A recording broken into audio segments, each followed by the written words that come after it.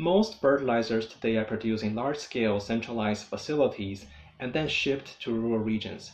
Because of the long-distance logistical markup and importation cost, many rural smallholder farmers are paying two to three times the world price for their fertilizers. We are developing technology to downsize and decentralize fertilizer production such that it can be profitably implemented at a level of single rural villages using locally available resources, labor, and crop residues. Our product, Safi Sarvi, is a carbon negative biochar based fertilizer blend that has helped more than 1,000 rural farmers improve their yield by about 30% and net income by up to 50%.